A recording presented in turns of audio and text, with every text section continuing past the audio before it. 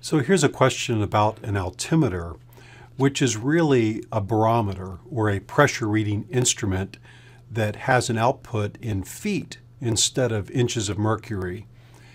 And what's more is the altimeter is adjustable so that no matter the outside pressure, whether it's high pressure or low pressure, we're able to adjust the altimeter so that it correctly indicates field elevation on the ground or correctly indicates our altitude. This question asks, if it is necessary to set the altimeter from 2915 to 29.85, what change occurs? Two things to understand. When you change from one altimeter setting to another, which direction do the hands move for that adjustment? And how large of an adjustment is it? The answer to that lies in the fact that one inch in what we call the Kollsman window or the altimeter setting, one inch is equivalent to 1,000 feet. Here's an altimeter set at about 30 inches indicating 4,000 feet.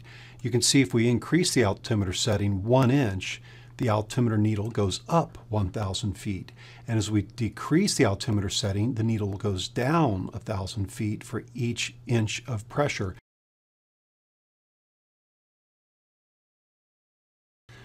So understanding that one inch of altimeter setting change equates to 1,000 feet,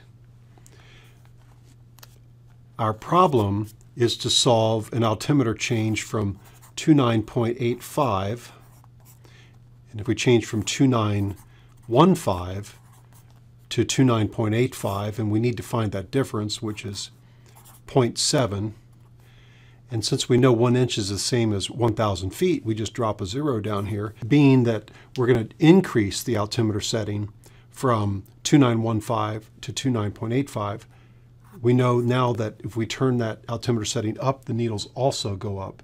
So the answer to our question is a 700 foot increase in indicated altitude.